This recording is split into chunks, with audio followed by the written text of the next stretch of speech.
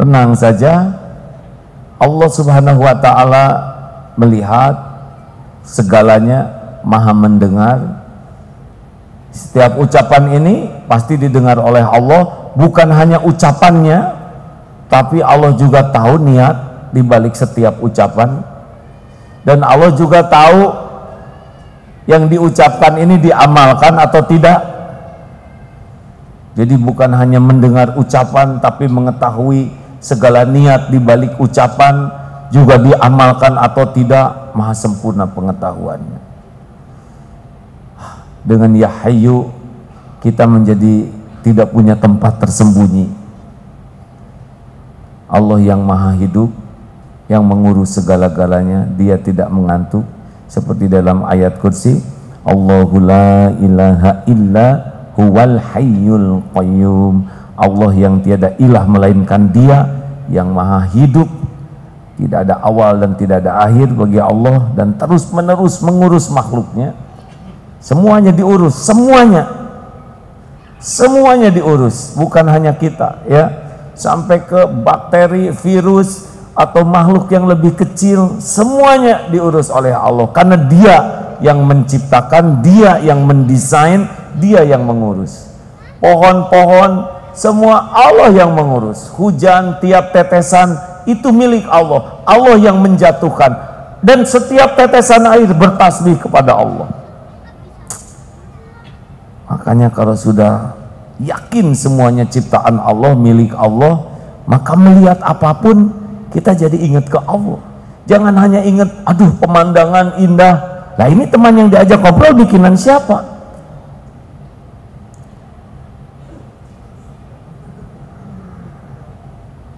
Ada yang ketawa barusan?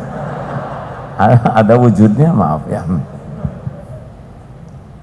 Ya seperti ini ya ini demi Allah kita semua ciptaan Allah. Allah ciptakan beda-beda dan rezekinya juga beda-beda. Walaupun ibu bapaknya sama, beda-beda.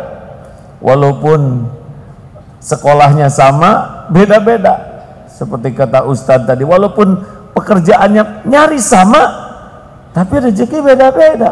Karena yang ngatur rezeki Allah bukan pekerjaan. Dan bahagia itu tidak tergantung rizki kalau kaya bahagia atau yang miskin model kita nelangsa ya. Seperti rumah. Rumah kan tidak semua punya rumah. Karena rumah tidak identik dengan bahagia.